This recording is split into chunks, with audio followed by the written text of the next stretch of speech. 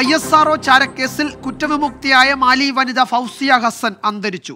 ശ്രീലങ്കയിൽ ചികിത്സയിലിരിക്കെയാണ് മരണം. വിവാദമായ ചാരക്കേസിൽ മറിയം റഷീദയ്ക്കൊപ്പം പ്രതി ചേർക്കപ്പെട്ടിരുന്നു. ആയിരത്തി തൊള്ളായിരത്തി തൊണ്ണൂറ്റി നാല് മുതൽ മൂന്ന് വർഷം ജയിൽവാസം അനുഭവിച്ചിട്ടുണ്ട് ഈ കേസിൽ. മാലിദ്വീപിലെ നാഷണൽ ഫിലിം സെൻസർ ബോർഡിലെ ഉദ്യോഗസ്ഥയായിരുന്ന ഫൗസിയ ഹസൻ അറിയപ്പെടുന്ന ചലച്ചിത്ര താരവുമായിരുന്നു. ആർ രാധാകൃഷ്ണൻ ഡൽഹിയിൽ നിന്ന് വിവരങ്ങൾ നൽകും. ആർക്കെ ആം, എന്തൊക്കെയാണ് ലഭ്യമായ വിവരങ്ങൾ? ഇവരുടെ മരണം സംബന്ധിച്ച് ഉള്ള മറ്റു കാര്യങ്ങൾ. ഇത് നമുക്ക് അറിയാം ഈ ഹൈക്കോടതിയിൽ ഇപ്പോഴും ഈ കേസ് നിലനിൽക്കുന്നുണ്ട്.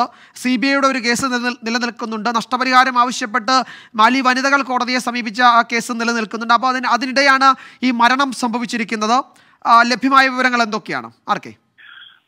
വിജയൻ ഈ അവരുടെ അന്ത്യം ഉണ്ടായിരിക്കുന്നത് ശ്രീലങ്കയിൽ വെച്ചിട്ടാണ്. കഴിഞ്ഞ കുറച്ച് നാളുകളായിട്ട് അവർ ശ്രീലങ്കയിൽ താമസിക്കുന്നു എന്നാണ് നമുക്ക് മനസ്സിലാക്കാൻ സാധിക്കുന്നത്. ഈ മരണവിവരം സ്ഥിരീകരിച്ചിരിക്കുന്നത് മാലിയുടെ വിദേശകാര്യ മന്ത്രിയാണ്.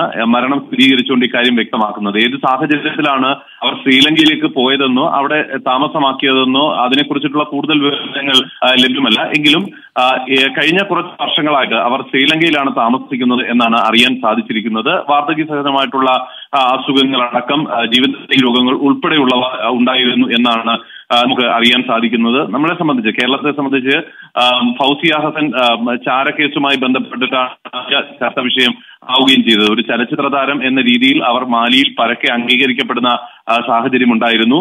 സെൻസർ ബോർഡിന് മാലിയിലെ സെൻസർ ബോർഡിന്റെ അംഗവും ആയിരുന്നു എന്നാൽ കോൺഗ്രസിൽ ഗ്രൂപ്പ് യുദ്ധം മൂർധന്യാവസ്ഥയിൽ നിന്ന സമയത്ത് രൂപം കൊണ്ട ചാരക്കേസ് അതുമായി ബന്ധപ്പെട്ട വിഷയത്തിൽ വിസ കാലാവധി കഴിഞ്ഞിട്ടും ഇന്ത്യയിൽ തങ്ങിയെന്നുള്ള ആരോപണത്തിന് മുൻനിർത്തിയാണ് മാലി സ്വദേശിയായിട്ടുള്ള ഫൗസിയ ഹസനെയും ഒപ്പം മറിയം ആ, പോലീസ് അറസ്റ്റ് ചെയ്യുന്നത്. ഇതാണ് കേരള രാഷ്ട്രീയത്തെ പിടിച്ചുകുലുക്കിയ സംഭവവികാസങ്ങളുടെ തുടക്കം.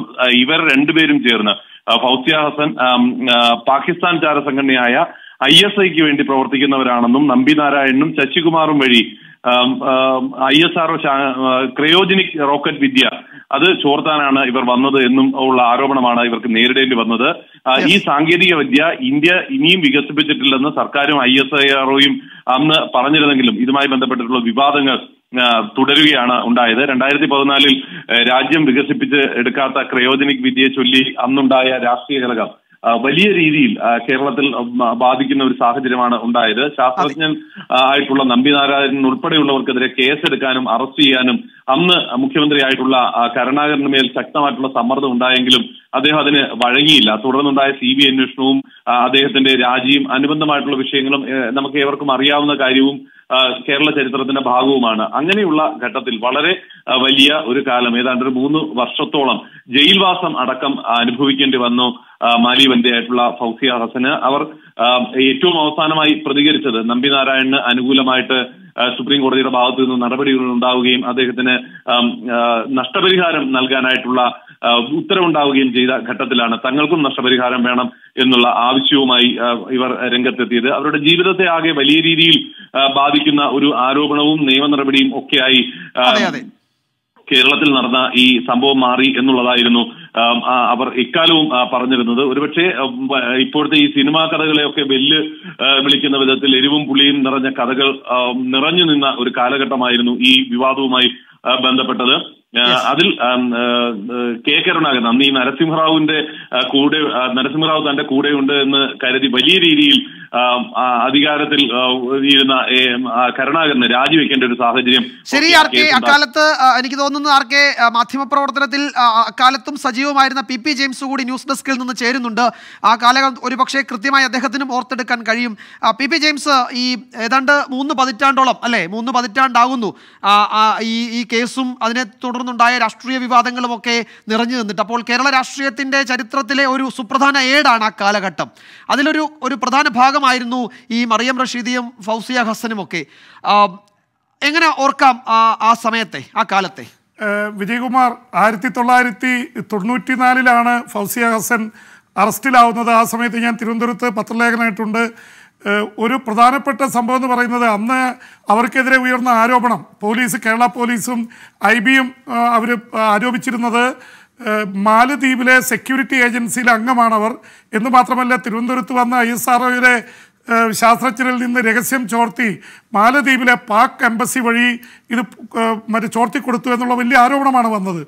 പിന്നീട് ഇത് കേരള പോലീസിലെ ചില ഉദ്യോഗസ്ഥർക്കെതിരെ രമൺ ശ്രീവാസ്തവയെ പോലുള്ള ഉദ്യോഗസ്ഥർക്കെതിരെ വന്നു കോടതിയിൽ വന്ന് രമൺ ശ്രീവാസ്തവ അറസ്റ്റിൽ നിന്ന് രക്ഷപ്പെടുകയായിരുന്നു. ആ സമയത്ത് രമൺ ശ്രീവാസ്തവയെ രക്ഷപ്പെടുത്താൻ ശ്രമിച്ചു എന്ന പേരിലാണ് കോൺഗ്രസിന്റെ ഗ്രൂപ്പിസത്തിന്റെ ഭാഗമായിട്ട് കൂടിയായിരുന്നു അന്ന് കെ കരുണാകരൻ സർക്കാരിനെതിരെ ഈ ഐ എസ് ആർ ഒ ചാരക്കേസ് വലിയ രീതിയിൽ ഉയർന്നു വന്നു. ഈ ഫൗസിയ ഹസനും അതുപോലെ തന്നെ മറിയം റഷീദയും അന്നത്തെ ഇതിലെ പ്രധാനപ്പെട്ട താരങ്ങളായിരുന്നു. പിന്നെ ഐ എസ് ആർ ഒയുടെ ശാസ്ത്രജ്ഞരും. അതിലെ ഒരു പ്രധാന പ്രതിയായിട്ട് അന്ന് മാറുകയും പിന്നീട് സുപ്രീം കോടതി കുറ്റവിമുക്തയാക്കുകയും ചെയ്ത ഫൗസിയ ഹസനാണ് ഇപ്പോൾ കടന്നു പോയിരിക്കുന്നത് കരുണാകര സർക്കാർ രാജിവെക്കേണ്ടി വന്ന ഒരു പ്രധാന സംഭവം ഈ ചാരക്കേസുമായി ബന്ധപ്പെട്ടാണ്. അന്ന് കരുണാകരനെതിരെ എ ആന്റണി പക്ഷം അല്ലെങ്കിൽ എ ഗ്രൂപ്പ് കൊണ്ടുവന്ന ഏറ്റവും വലിയ ആരോപണം ചാരക്കേസിൽ ബന്ധമുണ്ടെന്നായിരുന്നു. പ്രത്യേകിച്ച് അന്ന് പ്രധാനമന്ത്രിയായിരുന്ന നരസിംഹറാവുവിന്റെ മകൻ പ്രഭാകര റാവുവിനും കൂടി ഇതിൽ പങ്കുണ്ടെന്നുള്ള രീതിയിൽ കാര്യങ്ങൾ വന്നു ആരോപണങ്ങൾ വന്നു. സി ബി ഐ ഡയറക്ടർ നേരിട്ട് അവിടെ എത്തി. അതുപോലെ തന്നെ അതൊക്കെ ഞാൻ ഓർക്കുന്നു. പ്രധാനമന്ത്രി തന്നെ ഒരു ദിവസം തിരുവനന്തപുരത്ത് താമസിച്ചത് വലിയ രീതിയിലുള്ള അഭ്യൂഹങ്ങൾക്ക് കാരണമായിരുന്നു. എന്തായാലും സുപ്രീം കോടതി വിധി വന്നു. ഫൗസിയ ഹസൻ അതിന്റെ പേരിൽ നഷ്ടപരിഹാരം ചോദിച്ച് ഹൈക്കോടതിയെ സമീപിച്ചു.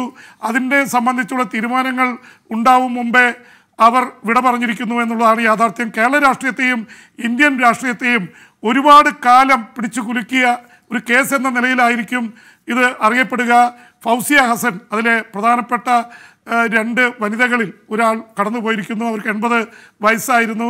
മറിയം റഷീദ മാലിയിലുണ്ട്. ശ്രീലങ്കയിൽ നിന്നാണ് ഇപ്പോൾ അറിയിപ്പ് വന്നിരിക്കുന്നത്. കൊളംബയിൽ കൊളംബോയിൽ അവർ അന്തരിച്ചു എന്ന വാർത്തയാണ് വരുന്നത് Vijayakumar.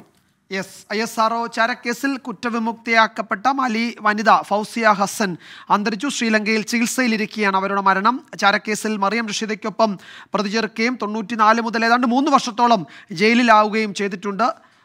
മാലിയിലെ നാഷണൽ ഫിലിം സെൻസർ ബോർഡിലെ ഉദ്യോഗസ്ഥയായിരുന്നു. ഒരു അറിയപ്പെടുന്ന ചലച്ചിത്രോതാരവുമായിരുന്നു അവർ പി പി ജെയിംസും ആർ രാധാകൃഷ്ണനുമാണ് വിശദാംശങ്ങൾ പങ്കുവച്ചത്.